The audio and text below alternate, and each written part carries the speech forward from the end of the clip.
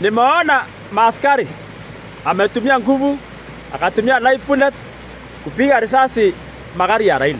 Shida yenu nini? Mmetumwa kuua ama mnalinda wananchi? Ah, Hiyo magari yenye alikuwa mlikuwa napiga, alikuwa naiba nini? Alikuwa anapora wananchi.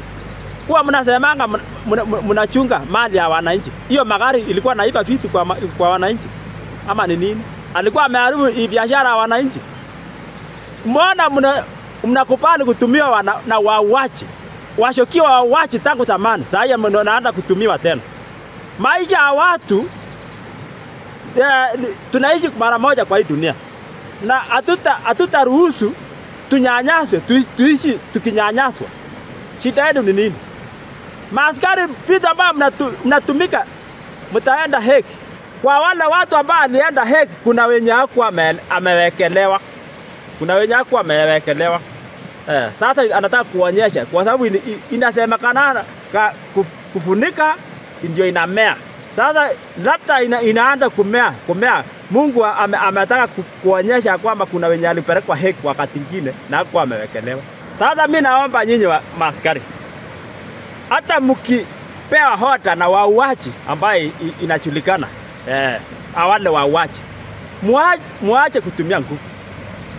Mkipiga risasi muue mtu asimio, mtapea Wakenya wawe na asira saiti na, na itakuwa mbaya sana eh.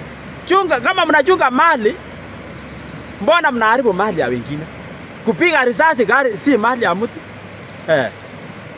Eh. Mnapiga risasi tena ma, in, in, waandishi wa habari, na mimi najua wale wa- wenye anadictate waandishi wa habari ni wale wanataka anapendaga kufanya vitu kwa kisa, kwa sababu ana- anataka ili ushahidi asikwe asikwe eh, vitu ambaye ilifanywa eh, kwa Wapokot, kwa sababu waandishi wa habari hawakukua.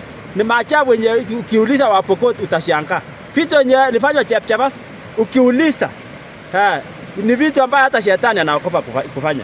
Ni kwa sababu waandishi wa habari hawakukua huko eh.